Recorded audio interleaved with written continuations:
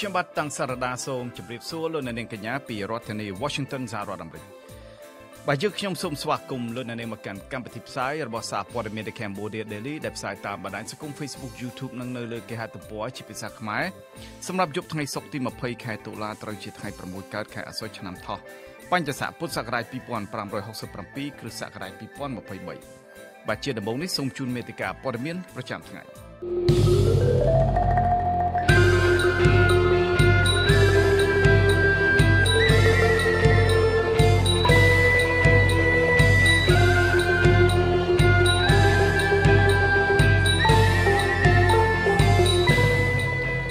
ម៉ាណែតប្រកាសត្រៀមខ្លួនអនុវត្តពេញទំហឹងនៅផែនការមេដឹកនាំចិនលើគោលនយោបាយខ្សែក្រវ៉ាត់និងផ្លូវ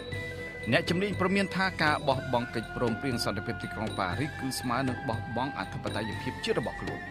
ក្រុមគឧតកោខកចិត្តដែលសាលាអូតូតម្កល់សាលក្រមផ្ដន់ទោសរបស់សាលាដំបងលើសំណុំរឿងកញ្ញាជឹមស៊ីធនិងសមាជិកទុកជាបានការដដែល។ សកម្មជនបរិស្ថានសម្ដែងការហួសចិត្តចំពោះមន្ត្រីក្រសួងយុទ្ធភ័ពឆ្លើយតបថាគ្មានពេលឆ្លើយតបនឹងសំណើរបស់ពួកគេលោកពូទីនអញ្ជើញលោក Biden មកផឹកតែជាមួយនឹងលោកនៅឯទីក្រុងមូស្គូដែលជាការចំអកលោក Biden បាទជាបន្តទៅទៀតខ្ញុំបាទតាំងសារ៉ាដាសូមជូនព័ត៌មានពុស្ដា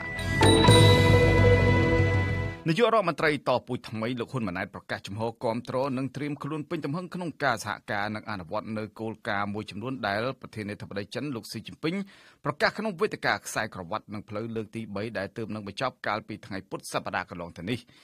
ក្រសួងការបរទេសកម្ពុជាបានចេញសេចក្តីប្រកាសព័ត៌មានកាលពីថ្ងៃទី19ខែតុលាឆ្នាំ2023នេះថាលោកហ៊ុនម៉ាណែតបានបញ្ជាក់យ៉ាងច្បាស់ក្នុងវេទិកាខ្សែក្រវ៉ាត់និងផ្លូវជាមួយនឹងនាយករដ្ឋមន្ត្រីចិនលោកលីឈៀងនិងមន្ត្រីជាន់ខ្ពស់បកកុម្មុយនីសចិនជាច្រើនទៀត ថាកម្ពុជានឹងធ្វើឲ្យស៊ីជម្រៅនៅដៃគូយុទ្ធសាស្ត្រគ្រប់ជ្រុងជ្រោយរវាងកម្ពុជានិងចិនដោយជាការកសាងបណ្ដាញតភ្ជាប់ពហុវិស័យខ្សែក្រវ៉ាត់និងផ្លូវគ្រប់គ្រងឲ្យមានការផ្លាស់ប្ដូររវាងប្រជាជននិងប្រជាជននិងការលើកកម្ពស់កិច្ចសហប្រតិបត្តិការខ្សែក្រវ៉ាត់និងផ្លូវជាដើម។ លោកហ៊ុនម៉ាណែតអះអាងថាលោកបានប្រកាសរួមគ្នាជាមួយនឹងប្រធានាធិបតីចិនលោកស៊ីជីនពីងដោយកំណត់យកឆ្នាំ2024ជាឆ្នាំឯកភាពគ្នាពន្លឿនការអភិវឌ្ឍច្រករបៀងអភិវឌ្ឍកសិកម្មនិងច្រករបៀងមច្ឆានិងអង្គរក្នុងគោលបំណងបង្កើនកិច្ចសហប្រតិបត្តិការឧស្សាហកម្មនិងកសិកម្មទ្វេភាគីដើម្បីធ្វើទំនើបដើម្បីធ្វើទំនើបកម្មវិស័យកសិកម្មនៅកម្ពុជាផងដែរ លោកហ៊ុនម៉ាណែតបញ្ជាក់ថាកម្ពុជាចិនបានឯកភាពគ្នាបង្កើននៅកិច្ចសហប្រតិបត្តិការខ្សែក្រវ៉ាត់និងផ្លូវបន្ថែមទៀតក្នុងការប្រយុទ្ធប្រឆាំង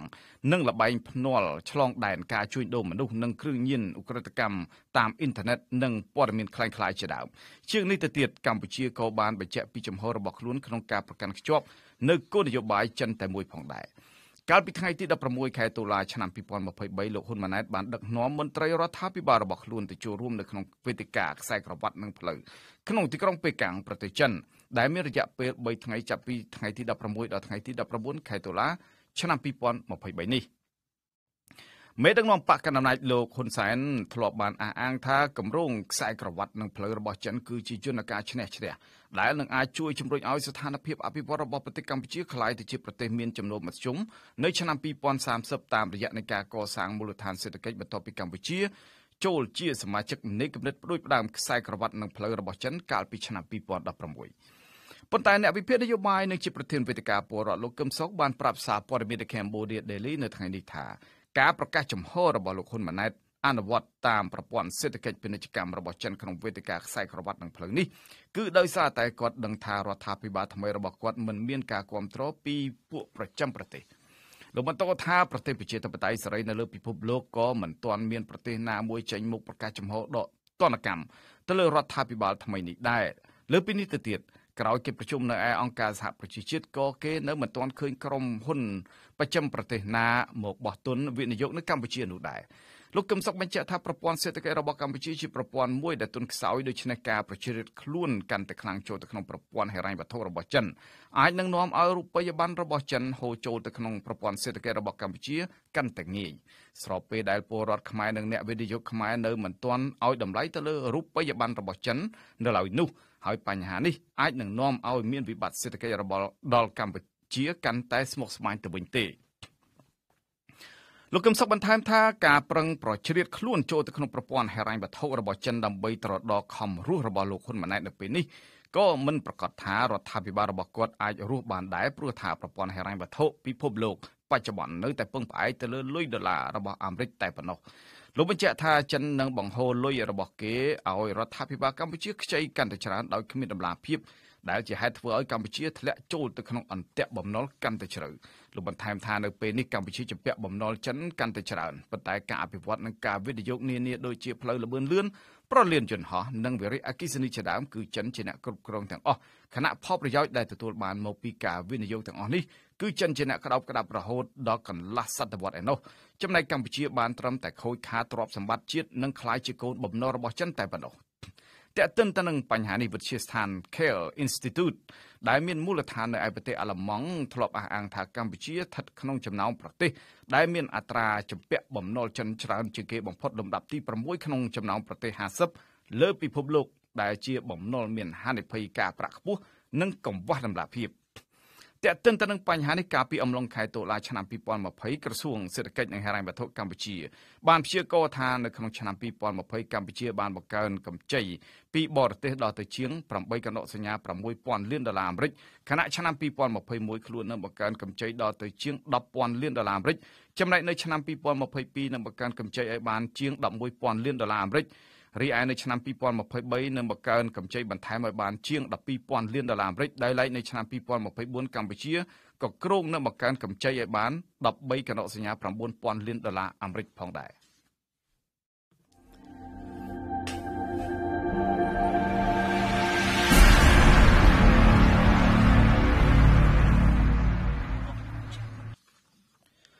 បាទលោកអ្នកនាងជាទីមេត្រីអ្នកជំនាញខាងកិច្ចការព្រំដែនព្រមមានថាការបោះបង់ចោលនៅកិច្ចព្រមព្រៀងសន្តិភាពទីក្រុងប៉ារីសពីសំណាក់រដ្ឋាភិបាលកម្ពុជាដែលកំពុងដឹកនាំដោយបកប្រជាជនកម្ពុជាសប្តាហ៍នេះគឺស្មើនឹងបោះបង់អធិបតេយ្យភាពឯករាជ្យភាពនិងបូរណភាពទឹកដីរបស់កម្ពុជាដូច្នោះដែរ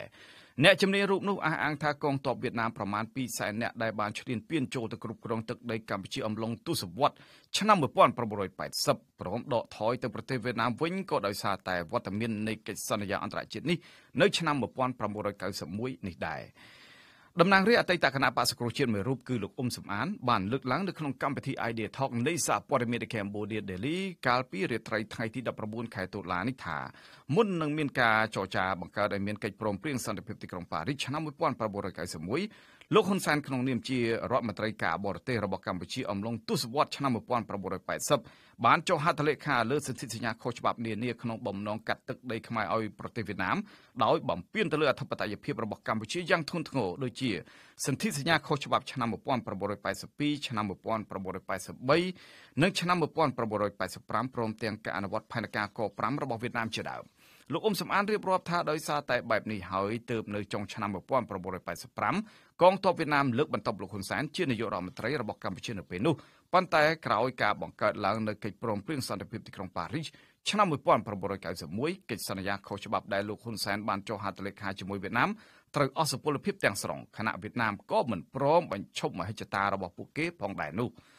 មន្ត្រីបកប្រឆាំងរូបនេះអះអាងថាដើម្បីបំពេញតាមការចង់បានរបស់វៀតណាមលោកហ៊ុនសែនបានបង្កើតនៅសន្ធិសញ្ញាបំពេញបន្ថែមក្នុងឆ្នាំ2005ដើម្បីធានាសុពលភាពសន្ធិសញ្ញាដែលគាត់បានចុះហត្ថលេខាជាមួយវៀតណាមអំឡុងទសវត្សរ៍ឆ្នាំ1980คล้ายជាសន្ធិសញ្ញាស្របច្បាប់ឡើងវិញទាំងអស់ប៉ុន្តែលើកដំបូងសន្ធិសញ្ញានេះមិនត្រូវបានឯកភាពនឹងយល់ព្រមឡាយប្រហត្ថលេខាពីព្រះមហាក្សត្រខ្មែរសម្ដេចព្រះបរមនាថ នរោត្តមសីហមុនីនោះទេដោយសារតែលោកហ៊ុនសែនគម្រាមរំលាយរបបប្រជានិយមដោយបដូរទៅជារបបសាធារណរដ្ឋវិញដែលនាំឲ្យព្រះមហាក្សត្រត្រូវបង្ខំប្រតិយល់ព្រមឡាយប្រហត្ថលេខាតាមការគម្រាមរបស់លោកហ៊ុនសែនតែម្ដងតំណាងរាជអតីតគណៈបក្សសង្គ្រោះជាតិរូបនេះបញ្ជាក់ថាមាត្រាជាច្រើននៃកិច្ចព្រមព្រៀងសន្តិភាពទីក្រុងប៉ារីសបានចែងយ៉ាងច្បាស់អំពីអធិបតេយ្យភាពជាតិរបស់កម្ពុជាក្នុងដែនដីដែលមិនអាចរំលោភបាន ក្នុងຂະຫນາດផែនទី1លើ100ពាន់ដែលធ្វើនៅចន្លោះឆ្នាំ1933ដល់ឆ្នាំ1953ហើយដែលត្រូវបានទទួលស្គាល់ជាលក្ខណៈអន្តរជាតិនៅចន្លោះឆ្នាំ1963ដល់ឆ្នាំ1969ចំណុចនេះមានចែងក្នុងរដ្ឋធម្មនុញ្ញកម្ពុជាត្រង់មាត្រា2លោកអ៊ុំសំអានអះអាងថាដោយសារតែលោកហ៊ុនសែនចង់បំពេញមហិច្ឆតារបស់វៀតណាមគាត់ក៏បានប្រើផែនទីຂະຫນាត1លើ100ពាន់ផងនិងផែនទី UTM ຂະຫນាត1លើ50ពាន់ផង ក្នុងការកំណត់ព្រំដែនរវាងកម្ពុជានិងវៀតណាមរហូតភាគីទាំងពីរបានសហការគ្នាចុះកិច្ចព្រមព្រៀងប្រើផែនទីຂະຫນាត1លើ25000តាមការទៀមទារបស់វៀតណាមថែមទៀតគណៈផែនទី UTM ຂະຫນាត1លើ50000និងផែនទីຂະຫນាត1លើ25000មិនត្រូវបានកំណត់ឲ្យប្រើប្រាស់ក្នុងរដ្ឋធម្មនុញ្ញរបស់កម្ពុជានោះទេលោកបញ្ជាក់ថាតាមរយៈ សកម្មភាពរបស់លោកហ៊ុនសែនដែលដឹកនាំប្រទេសកម្ពុជាអស់រយៈពេល4ទសវត្សរ៍កន្លងមកនេះបានបង្ហាញយ៉ាងច្បាស់អំពីការរំលោភលើកិច្ចព្រមព្រៀងសន្តិភាពទីក្រុងប៉ារីសឆ្នាំ1991ជាពិសេសពាក់ព័ន្ធទៅនឹងការចុះកិច្ចព្រមព្រៀងនិងសន្ធិសញ្ញានានាជាមួយនឹងប្រទេសវៀតណាមដែលជាហេតុនាំឲ្យទឹកដីរបស់កម្ពុជារងនឹងការរំលោភបំពានពីបរទេសឈ្លានពានមួយនេះរហូតមកទល់សប្តាហ៍ថ្ងៃ មេដឹកនាំខ្មែរដែលវៀតណាមលើកបន្ទប់លោកហ៊ុនសែនតែងតែអះអាងដដែលដដែលថាកិច្ចព្រមព្រៀងសន្តិភាពទីក្រុងប៉ារីសឆ្នាំ1991បានស្លាប់ជាខ្មោចបាត់ទៅហើយព្រោះថាភាគីខ្មែរក្រហមនិងសហភាពសូវៀតដែលជាម្ចាស់ហត្ថលេខីនៃកិច្ចព្រមព្រៀងនេះបានរលំរលាយអស់ទៅហើយដូច្នេះបើចង់ឲ្យកិច្ចព្រមព្រៀងនេះរស់ឡើងវិញតើតែឲ្យភាគីខ្មែរក្រហមរស់ឡើងវិញដូចគ្នាដែរទើបជារឿងត្រឹមត្រូវកិច្ចព្រមព្រៀងសន្តិភាពទីក្រុងប៉ារីស Paris Peace Accords ឬ Paris Peace Agreement គឺជាកិច្ចព្រមព្រៀងមួយស្តីពីដំណោះស្រាយនយោបាយដើម្បីបញ្ចប់ចំនួននៅកម្ពុជាដែលបានធ្វើឡើងនៅទីក្រុងប៉ារីសប្រទេសបារាំងកាលពីថ្ងៃទី23ខែតុលាឆ្នាំ1991ក្នុងគោលបំណងឈានទៅរកការបង្រួបបង្រួមជាតិគោរពសិទ្ធិមនុស្សឯករាជ្យភាពបូរណភាពទឹកដីអធិបតេយ្យភាពជាតិកម្ពុជាដែលនៅតែមានសុពលភាពហើយប្រទេសដែលជាម្ចាស់ហត្ថលេខីមិនអាចបដិសេធទៅនឹងកាតព្វកិច្ចរបស់ខ្លួនដែលបានចែងនៅក្នុងកិច្ចព្រមព្រៀងនេះឡើយ កិច្ចព្រមព្រៀងសន្តិភាពទីក្រុងប៉ារីសឆ្នាំ1991មិនមែនជាកិច្ចព្រមព្រៀងតែមួយនោះទេគឺមានកិច្ចព្រមព្រៀង2និងសេចក្តីថ្លែងការណ៍មួយក្នុងនោះកិច្ចព្រមព្រៀងទី1គឺស្តីពីការដោះស្រាយចំនួននៅកម្ពុជាខណៈកិច្ចព្រមព្រៀងទី2គឺស្តីពីការគោរពឯករាជ្យភាពអធិបតេយ្យភាពបូរណភាពទឹកដី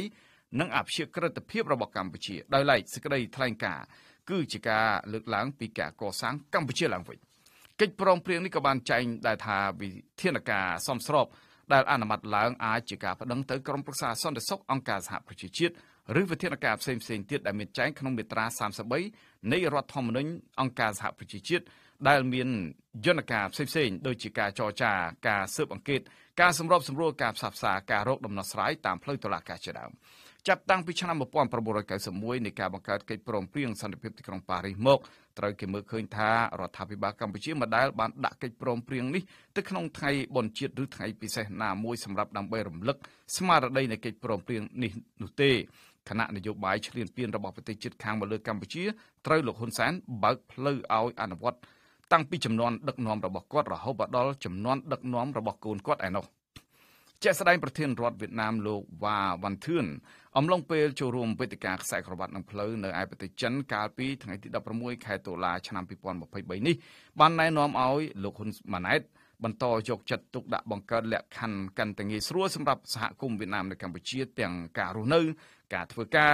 ព្រមទាំងដោះស្រាយបញ្ហាឯកសារផ្លូវច្បាប់ឲ្យបានកាន់តែល្អប្រសើរថែមទៀតសម្រាប់ពលរដ្ឋវៀតណាមដែលកំពុងរស់នៅលើទឹកដីកម្ពុជាសប្តាហ៍ថ្ងៃនេះ គណៈនាយករដ្ឋមន្ត្រីកម្ពុជាលោកហ៊ុនម៉ាណែតក៏មិនបានបដិសេធនឹងសំណើនេះដែរហើយសំណើបែបនេះមេដឹកនាំវៀតណាមតែងតែស្នើដល់លោកហ៊ុនសែនក្នុងតំណែងជានាយករដ្ឋមន្ត្រីកម្ពុជារហូតមកទល់ពេលនេះក្នុងនោះលោកហ៊ុនសែនក៏មិនដែលបដិសេធនឹងសំណើរបស់វៀតណាមម្ដងណាដែរលោកអ្នកនាងជាទីមេត្រីលោកអ្នកនាងអាចស្វែងរកព័ត៌មានរបស់ The Cambodia Daily ជាភាសាខ្មែរដែលបានផ្សាយនៅលើ Facebook រួចមកហើយបានដោយចូលទៅកាន់គេហទំព័ររបស់យើង តាមអាសយដ្ឋាន www.cambodiadaily.com នៅក្នុងគេហទំព័រនេះលោកអ្នកនាងអាចស្វែងរកព័ត៌មានរបស់ The Cambodia Daily ទាំងភាសាខ្មែរនិងភាសាអង់គ្លេសលោកអ្នកនាងក៏អាចស្វែងរក YouTube របស់យើងតាមអាសយដ្ឋាន www.youtube.com/thecambodiadailytm ប្រសិនបើលោកអ្នកនាងយល់ថាសារព័ត៌មានមួយនេះមានប្រយោជន៍ដល់សង្គមសូមលោកអ្នកនាងជួយទ្រទ្រង់ដល់កម្មវិធីផ្សាយរបស់យើងដោយចូលទៅកាន់អាសយដ្ឋាន www.cambodiadaily.com/donate បាទសូមអរគុណបលូននាងជាទីមេត្រីក្រុមកោតក្របង្ហាញការសោកស្ដាយនិងចាត់ទុកការសម្ដែងរបស់សាឡាវតូភ្នំពេញដែលដំកល់សាលក្រមសាលាដំបងរាជធានីភ្នំពេញផ្ដន់ទាទោសលើឋានៈដឹកនាំសហជីព Nagawal កញ្ញាឈឹមស៊ីធនិងសមាជិកផ្សេងទៀតថាជារឿងអយុត្តិធម៌ ការលើកឡើងរបស់គឧតកោនេះបន្ទាប់ពីសាលាអូតូរាជធានីភ្នំពេញនៅថ្ងៃទី19ខែតុលាបានបើកសវនកម្មបណ្ដឹងជំទាស់ទៅនឹងសេចក្តីសម្រេចរបស់សាលាដំបងរាជធានីភ្នំពេញកាលពីខែឧសភាឆ្នាំ2023ក្រោយពីបើកសវនកម្មពេញមួយព្រឹកតុលាការក៏បានប្រកាសសាធិការនៅរសៀលថ្ងៃដដែលនេះដោយសម្រេចតម្កល់សេចក្តីសម្រេចរបស់សាលាដំបងរាជធានីភ្នំពេញដោយផ្ដន្ទាទោសអតីតនិងបច្ចុប្បន្នជាថ្នាក់ដឹកនាំនិងជាសមាជិកសហជីពត្រួតត្រងសិទ្ធិការងារបុគ្គលិកកម្មករខ្មែរនៃក្រុមហ៊ុន Nagawal តំណាងគឧតកោក្រុមហ៊ុន Nagawal អ្នកស្រីឈឹមសុខន បានប្រាប់អ្នកសារព័ត៌មាន នៅ បន្ទាប់ពីតុលាការប្រកាសសាធិការថាកន្លងមកពួកគេធ្វើការតស៊ូមតិជាមួយនឹងថៅកែដើម្បីតែផលប្រយោជន៍របស់កម្មករខ្មែរបែរជាមកទទួលរងនៅភាពអយុត្តិធម៌ពីតុលាការម្ដងហើយម្ដងទៀតទៅវិញ អ្នកស្រីបង្ហាញការសោកស្ដាយចំពោះសេចក្តីសម្រេចរបស់សាលាឧទ្ធររាជធានីភ្នំពេញនៅថ្ងៃនេះទោះបីជាពួកគេបានបំភ្លឺបន្ថែមនៅខាងមុខចៅក្រមអំឡុងពេលបើកសវនាការថា ពួកគេមិនបានប្រព្រឹត្តបទល្មើសដោយតុលាការចោទប្រកាន់នោះទេអំឡុងពេលតុលាការកំពុងបើកសវនកម្មនិងប្រកាសសាធិការក្រុមគឧតកោក៏បាននាំគ្នាប្រមូលផ្ដុំនៅខាងមុខតុលាការដោយសរសេរលើកបដាពីជនរងគ្រោះខ្លាយទៅជាអ្នកទោសនិងដើម្បីសិទ្ធិសហជីពមិនមែនស៊ីឈ្នួលមិនមែន បត់ញុះញង់នោះទេគណៈអ្នកខ្លះទៀតបានកាន់រូបថតរបស់កញ្ញាឈឹមស៊ីធោផងដែរឋានៈដឹកនាំសកម្មជនសហជីពក្រុមហ៊ុន Nagawal ត្រូវបានសាលាដំបងរាជធានីភ្នំពេញកាលពីខែឧសភាឆ្នាំ2023ផ្ដន្ទាទោសដាក់ពន្ធនាគារចន្លោះពី1ឆ្នាំដល់2ឆ្នាំពីបទញុះញង់ឲ្យប្រព្រឹត្តបទឧក្រិដ្ឋជាអាតតាមមាត្រា494និង495នៃក្រមព្រហ្មទណ្ឌបន្ទាប់ពីពួកគេបាននាំគ្នាធ្វើកតកម្មទាមទាររកដំណោះស្រាយវិវាទការងារនៅក្រុមហ៊ុន Nagawal ឋានៈដឹកនាំនិងសកម្មជនសហជីពចំនួន8នាក់បានដាក់ពាក្យបណ្ដឹងទៅសាលាអូតូជំទាស់នឹងសេចក្តីសម្រេចសាលាដំបងរាជធានីភ្នំពេញក្នុងនោះកញ្ញាឈឹមស៊ីធដែលត្រូវបានសាលាដំបងផ្ដន្ទាទោសដាក់ពន្ធនាគាររយៈពេល2ឆ្នាំចំណែកអ្នកស្រីឈឹមសុខនអ្នកស្រីហៃសុភាពអ្នកស្រីឃ្លាំងសុបិនកញ្ញាសុនស្រីពេជ្រនិងអ្នកនាងទូចសេរីមាសត្រូវបានសាលាដំបងផ្ដន្ទាទោសដាក់ពន្ធនាគារចំនួន18ខែរួមទាំងលោកសុកណារិតនិងអ្នកស្រី រីសវណ្ឌីត្រូវបានសាលាដំបងផ្ដន្ទាទោសចំនួន1ឆ្នាំប៉ុន្តែទោសទាំងអស់នោះត្រូវបានព្យួរ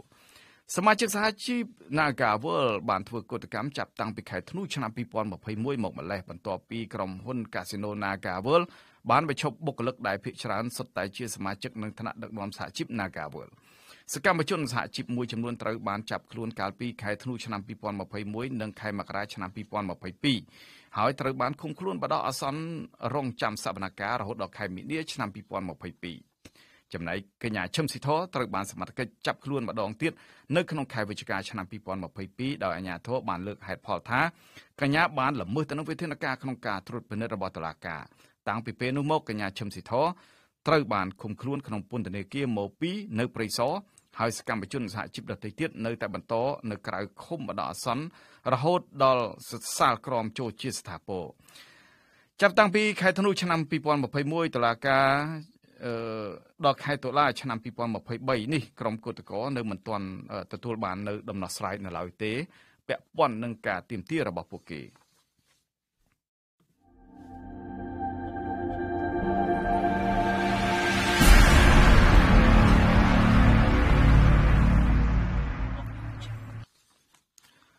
បាទលោកនៅនឹងជាទីមេត្រីចលនាមេដាធម្មជាតិបង្ហាញការហួសចិត្តដែលរដ្ឋមន្ត្រីក្រសួងយុទ្ធភ័ពលោកការរឹតឆ្លើយតបទៅកាន់ក្រមយុវជននៃចលនាមួយនេះថាគ្មានពេលដើម្បីឆ្លើយតបសំណើរបស់ពួកគេនោះទេ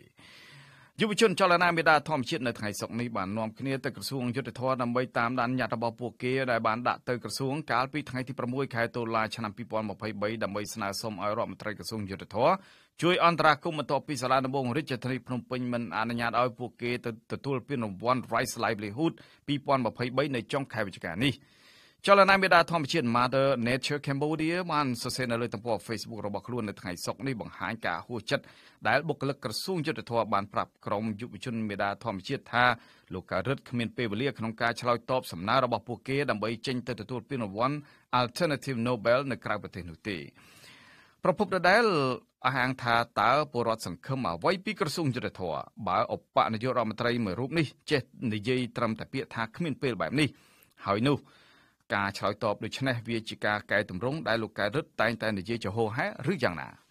សកម្មជនចលនាមេដាធម្មជាតិកញ្ញាភួនកែវរស្មីបានលើកឡើងថាពួកគេទៅតាមដានញត្តិដែលបានដាក់នេះដោយសារតែរយៈពេល2សប្តាហ៍មកហើយក្រសួងយុទ្ធភ័ពនៅតែមិនទាន់ឆ្លើយតបណាមួយឲ្យពួកគេបានដឹង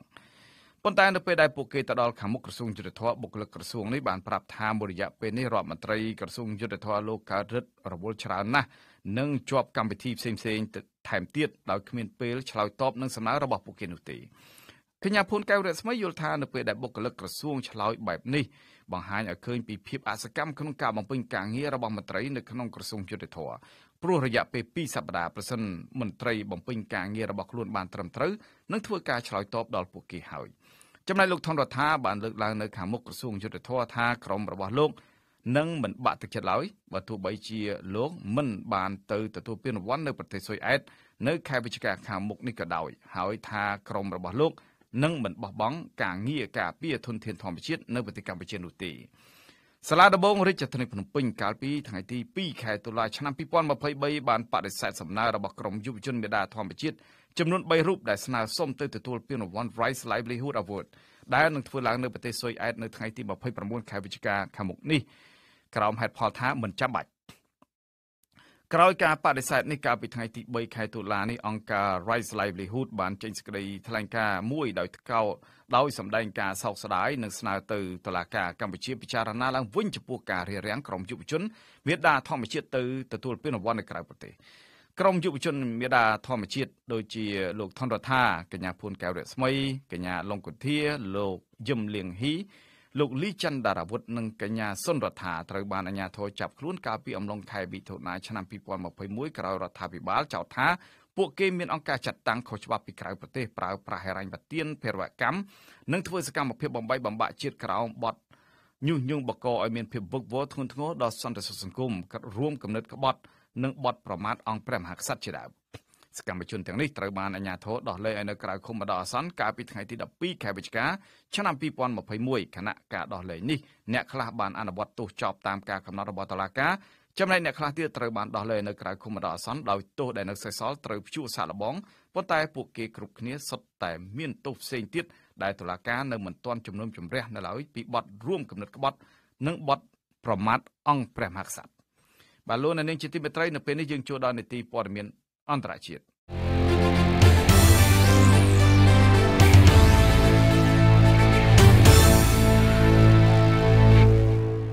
ប្រធានាធិបតីរុស្ស៊ី Vladimir Putin ដែលគេហៅថាកំពូលបរោះខ្លាំងនៅឯវិមានក្រំឡាំងដែលជាអ្នកបញ្ជាទ័ពឈ្លានពានប្រទេសអ៊ុយក្រែនបានបញ្ជូនសារចំអកឲ្យលោក Biden ប្រធានាធិបតីសហរដ្ឋអាមេរិក សាររបស់លោក Putin ដែលចំអកឲ្យលោក Biden ត្រូវបានសារព័ត៌មាន Financial World ចុះផ្សាយកាលពីថ្ងៃទី19ខែតុលានេះ។លោកពូទីនបានបញ្ជូនសារអញ្ជើញលោក Biden ដោយស្នើឲ្យមេដឹកនាំសហរដ្ឋអាមេរិករូបនេះមកទីក្រុងមូស្គូដើម្បីជួបជុំអ្នកការទូតឲ្យផឹកតែមួយប៉ាន់រួមគ្នាដែលអ្នកសង្កេតការយល់ថាវិជាកាយវិការដ៏ល្អរបស់បរិសខ្លាំងនៅរុស្ស៊ីការជួបជុំនេះលោកពូទីនទំនងចង់បង្ហាញនៅរបៀបវិរៈមួយដ៏សំខាន់របស់ក្រុងមូស្គូដែលចង់ឲ្យក្រុង Washington ដកអាវុធ របស់អាមេរិកចេញពីអ៊ុយក្រែនហើយជាការលើកទឹកចិត្តទៅរកការចរចាសន្តិភាពនិងសហប្រតិបត្តិការរវាងប្រទេសទាំងពីរឡើងវិញ។តែការសម្ដែងរបស់លោកពូទីនត្រូវបានគេដឹងថានៅពេលលោកជួបជាមួយលោកស៊ីជីនពីងនៅឯវេទិកាខួបទី10នៃគម្រោងអភិវឌ្ឍខ្សែក្រវ៉ាត់ផ្លូវមួយរបស់ចិនហើយឆ្លៀតពេលនោះលោកពូទីនក៏ចាប់ផ្ដើមចំអកឲ្យសហរដ្ឋអាមេរិកជាពិសេសលោក Biden ដែលសម្រេចបញ្ជូនគ្រាប់មីស៊ីលរយៈចម្ងាយឆ្ងាយឈ្មោះថា ATACM ទៅឲ្យប្រទេសអ៊ុយក្រែនហើយបើតាមដំណឹងមកថាមីស៊ីលនេះបានចូលទៅដល់ទឹកដីអ៊ុយក្រែនដោយស្ងាត់ស្ងាត់ហើយអ៊ុយក្រែនបានប្រើប្រាស់វានៅឯសមរភូមិដោយបាញ់ចំគោលដៅទៀតផងគឺបាញ់ចំមូលដ្ឋានទ័ពអាកាសរបស់រុស្ស៊ីចំនួន2កន្លែងដែលបណ្ដាលឲ្យឆេះឧទ្ធម្ភាគចក្ររបស់រុស្ស៊ីយ៉ាងតិច6គ្រឿង សាររបស់លោកពូទីនដែលបញ្ជូនទៅឲ្យលោក Biden បានរៀបរាប់ដោយចំអកថាបើរុស្ស៊ីចាញ់សង្គ្រាមហេតុអីបានជាអាមេរិកបញ្ជូនមីស៊ីល Atom ទៅឲ្យប្រទេសអ៊ុយក្រែនលោកថាយកអាវុធនេះត្រឡប់ទៅវិញទៅនិងយកអាវុធផ្សេងទៀតត្រឡប់ទៅវិញទៅហើយផឹកតែជាមួយគ្នាវាល្អជាង។តែយ៉ាងណាក៏ដោយប្រធានាធិបតីអ៊ុយក្រែនលោក Volodymyr Zelensky បានថ្លែងអំណរគុណដល់សហរដ្ឋអាមេរិកដែលបានបញ្ជូនមីស៊ីល Atom មកឲ្យប្រទេសអ៊ុយក្រែនដែលធ្វើឲ្យទ័ពអ៊ុយក្រែនមានសមត្ថភាពក្នុងការការពារទឹកដីពីការឈ្លានពានរបស់រុស្ស៊ីលោក Zelensky អះអាងថាមីស៊ីលដ៏ទំនើបនេះគឺជាអាវុធដ៏ស័ក្តិសិទ្ធិអាចធ្វើឲ្យកងទ័ពរបស់អ្នកឈ្លានពានបាក់ទឹកចិត្ត ព្រោះគ្រាន់តែចាប់ផ្ដើមវាយប្រហារភ្លាមគឺបាញ់ចំគោលដៅបានយ៉ាងល្អលោក Zelensky អះអាងថាសហគមន៍អន្តរជាតិនៅតែបន្តជួយអ៊ុយក្រែនរហូតអ្នកឈ្លានពានធ្វើការបញ្ចប់សង្គ្រាមមីស៊ីលអាក់ទឹមជាមីស៊ីលដែលអាចបាញ់បានចម្ងាយឆ្ងាយរហូតដល់320គីឡូម៉ែត្រឯណោះវាអាចបំពាក់ទៅដោយគ្រាប់បែកចង្កោមបានទៀតផងមីស៊ីលដែលបញ្ជូនទៅឲ្យអ៊ុយក្រែនវាអាចបាញ់ចេញពីកាណុងនៃប្រព័ន្ធកាំភ្លើងធំរ៉ុកែត HIMARS ដែលអាវុធនេះ ហើយបានវាយឲ្យកងទ័ពរុស្ស៊ីបាក់ទ័ពកាលពីខែតុលាឆ្នាំ2022នៅឯសមរភូមិភាគខាងត្បូងនិងភាគឦសានរបស់ប្រទេសអ៊ុយក្រែនរ៉ុកែត HIMARS ជាអាវុធដែលបំពាក់ដោយប្រព័ន្ធ GPS បច្ចុប្បន្នអ៊ុយក្រែនមានមីស៊ីលចម្ងាយឆ្ងាយមាន3ប្រភេទគឺគ្រាប់មីស៊ីល Atom របស់អាមេរិកគ្រាប់មីស៊ីល Storm Shadow របស់ចក្រភពអង់គ្លេសនិងគ្រាប់មីស៊ីល Skal EG របស់បារាំងដែលមីស៊ីលរបស់អង់គ្លេសនិងបារាំងជាមីស៊ីលដែលបាញ់ដែលបានដែលអាចបាញ់ចេញពីយន្តហោះចម្បាំងនៅមុនការបញ្ជូនមីស៊ីលទាំង3ប្រភេទនេះទៅអឺទៅឲ្យអ៊ុយក្រែនក្រុងមូស្គូតែងតែប្រមានអាមេរិកអង់គ្លេសបារាំងនិងក្រុម NATO ទីបំផុតក្រុមប្រទេស NATO នៅតែបញ្ជូនអាវុធទំនើបទំនើបទៅឲ្យអ៊ុយក្រែនដដែល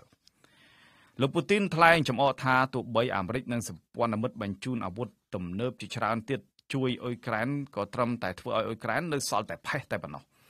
លោកថាលោកចង់ប្រាប់ទៅលោក Biden ថាដោយសារតែអ៊ុយក្រែនមានអាវុធរបស់ពួក NATO នេះហើយដែលអ៊ុយក្រែនមិនធ្វើដំណើរទៅរកតុកចរចារហូតមកទល់ពេលនេះលោក Biden មិនមានប្រតិកម្មនឹងសារចំអករបស់លោកពូទីននោះទេប៉ុន្តែកន្លងមកលោក Biden តែងតែវាយប្រហារលោកពូទីនថាលបែកលែងសមជាមេដឹកនាំស្របច្បាប់របស់រុស្ស៊ីទៀតហើយ ក៏ព្រោះតែតុលាការអ ுக ្រិតកម្មអន្តរជាតិ ICC ចេញទៅការចាប់ខ្លួនពីបទអ ுக ្រិតកម្មសង្គ្រាមលើប្រជាជនអ៊ុយក្រែននោះ